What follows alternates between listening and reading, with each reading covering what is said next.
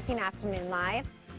Our next guest says the starting point to establishing a bond with your doctor and good health for yourself is to practice communication, trust, respect, and empathy. We welcome the author of Bond, The Four Cornerstones of a Lasting and Caring Relationship with Your Doctor. Dr. Ken Redcross is back with us. Dr. Ken, so good to see Yes. you again. Oh, thank you, Kara, for having me back on. Hello, everyone. Oh, you always have the most wonderful tips, and this one's really important. You know, you talk about having that lasting, caring relationship with your doctor. Why is that so important for people? You know, you know, that's so important, not only just for our general happiness, but also for our healthcare outcomes to be where they need to be. And right now, Kara, in healthcare, we know that everything is really about this speed and this volume, but really, it should be about value and that relationship and bond, which is so, so important. How do you know when you found the right doctor for you? Does it take actually getting to know your doctor as well? Or, I mean, I feel like the appointments are so short, so that by the time you go in and really want to spill so much, it's kind of Yeah. like, oh, I don't even know anything about my doctor. No, you're right. And look, one of the one of the important things I always talk about: go in and see what your gut sort of tells you. Are you getting eye contact? Are you getting someone who's listening to you? You know, it's a reason why the good Lord gave us two ears and one mouth. I always say, right? We're supposed to be listening. So see if your doctor is actually giving you that sort of thing, which is important. Even at the beginning, you can see those sort of signs early. I know that people need to take care of their own health, and so then when they go in there, you know, you need to be ready. And because I said there's like such that short amount of time, what Yeah. should we be focusing on when we go in?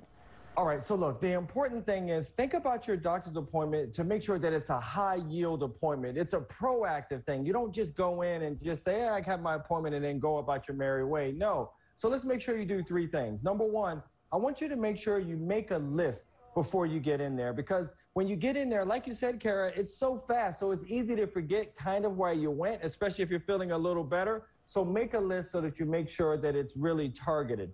The second thing, repeat what you hear. They do all these mm-hmm. studies and they show that unfortunately patients typically leave and they only remember about 20% of what the doctor said. And those studies also show most of it's wrong. So you want to make sure you repeat it. And the last thing, you want to make sure you ask questions. We remember this for years. Even when we were little kids, they always say there's no such thing as a dumb question. And that's even more important when you're talking about your health and you're trying to get to that healing path. So you have to feel comfortable also to ask questions. I think a lot of people get shy when it comes to coming clean with the doctor, right? About certain issues or things going on.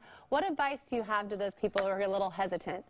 Well, look, it's a little challenge. There were some things that's really been going on during the pandemic, and you're right. Coming clean is one of the important ones, right? When you talk about some people started to drink, some people started to feel more depressed, some people started to feel isolated.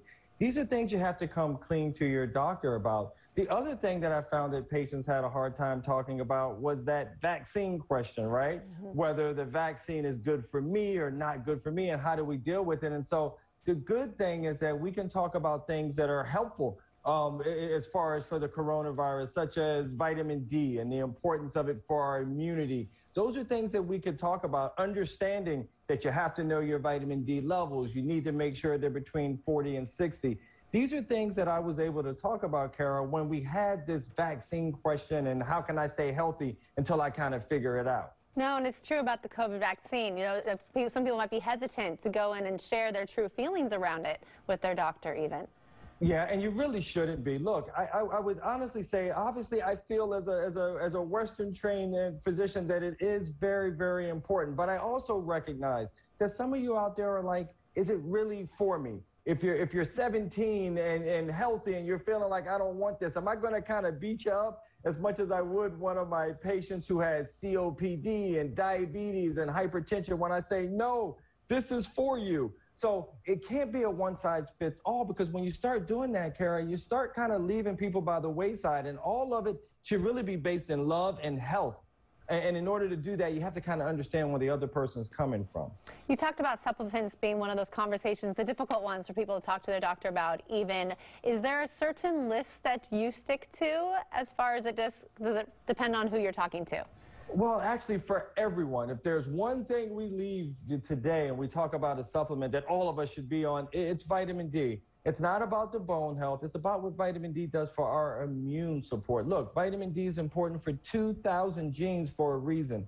And so that's why I say it's important to know your levels and you want them between 40 and 60. I also mentioned magnesium, which is also important just for our energy. molecules, the ATP that we all learned in health class, and also omega 3. Omega 3 is an anti inflammatory, it's fish oil. I tend to like to get that from sardines, but not everyone is necessarily a sardine fan.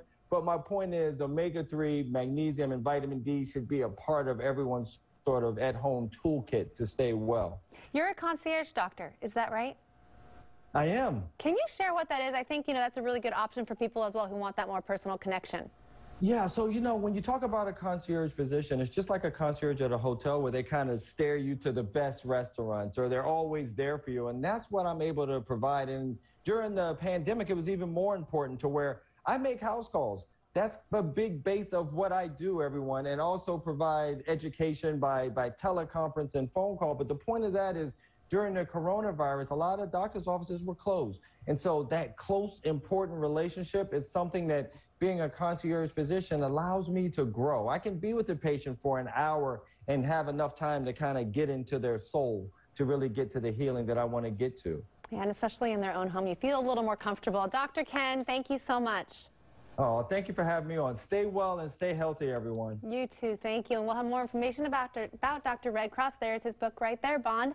We'll have that information as well on our website at KATU.com. But don't go anywhere. Afternoon Live We'll be right back.